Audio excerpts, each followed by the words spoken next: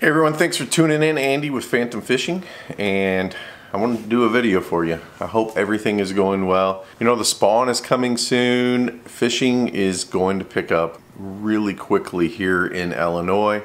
I know down south you're already smashing bass and and uh, and catching good fish shallow, but I'm just going to talk to you about how to prevent your line from breaking just by basic things you should do all the time. And I know I'm going to probably break my line this year because I didn't do one of these things.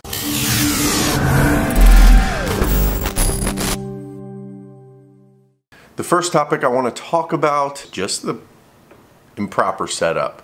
They got too big of a heavy of a rod with too light of line and just trying to put it on a big old fish or something and it just doesn't work out because it's just not set up correctly. So just basic knowledge, just make sure you have the right setup. You're not going to want to use six, hour, six pound test with a medium heavy rod with a Texas rig or something like that. You just you, you do a little research, make sure you know what you're fishing for, what the line size is, how heavy of that action of that rod is, and you'll you'll do just fine. The second thing is you gotta check your rod. Certainly this is one of the crucial crucial things, especially if you're chucking and winding. Make sure you're checking your guides and even sometimes in the reel, make sure there's no nicks. Quick way to figure that out, and most people know this, is just to take a Q-tip, go around the guide. If you see little pieces of that Q-tip stuck in your guides, you have a little crack in there and that can cut your line. So be aware of that. Make sure that line guide has the same, you know, the little piece that goes back and forth that runs your line evenly on your spool. Make sure that doesn't have any sharp edges or cracks in that. Also, that could cause it too.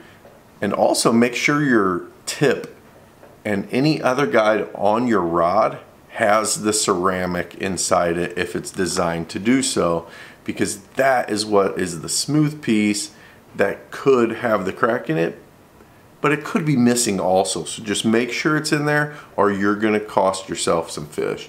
You're gonna ruin your line and you're gonna have issues. Third reason I think most people cost themselves some fish or lures or break the line is you accidentally are melting the line or damaging it on your own. What I mean by that is when you're cinching your knot down uh, is a big time that you need to really be careful and pay attention to what you're doing because you can easily pull that line through, especially with fluorocarbon. You will actually melt it and and put too much friction on and that will become a weak link so then your knot is virtually useless because your knot is going to be stronger than that line just above the knot and that's what's going to end up breaking.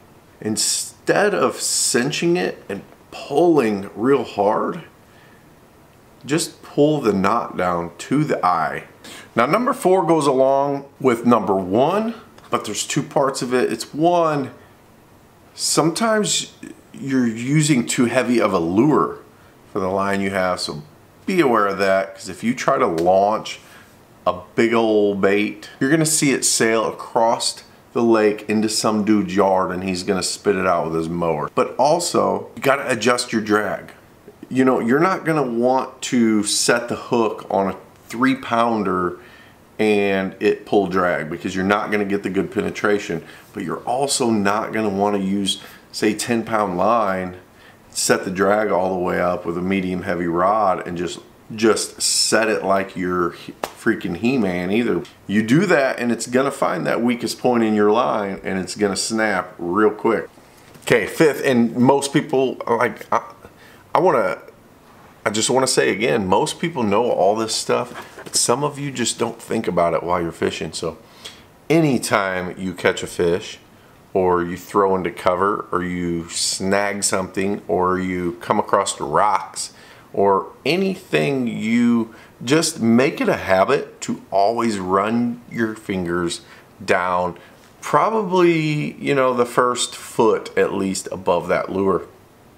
Now, the only instance you're probably going to have an issue besides that, if you have good guides and all that, is say you got snagged in a tree or a dock or something and your line was rubbing higher up on something.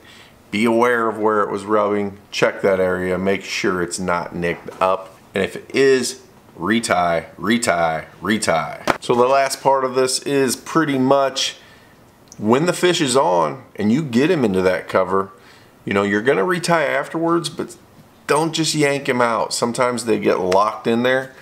The best thing to do, I know you're never supposed to put slack in your line, but sometimes you gotta give them slack.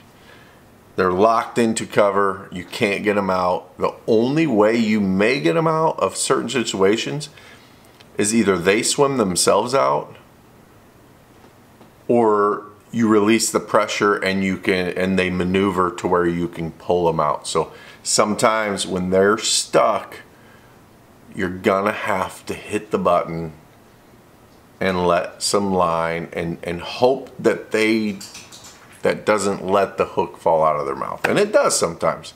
But other times I've seen them swim right out of where you need them to go and then you end up catching a fish that you really expected not to catch. So those are the quick tips on not breaking your line. I know everyone's saying, oh, I already knew this, but guess what? I guarantee one fish this year will break your line for one of these reasons, even though you know. And they'll break mine too, and I already know it, and I hope it's not a giant. So thanks for watching. Make sure you subscribe.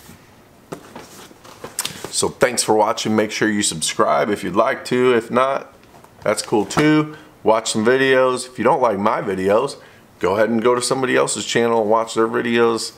But that's it. Hopefully it does help you. And hopefully the fish I lose for not doing one of these things is not a monster phantom bass that I'll never see again.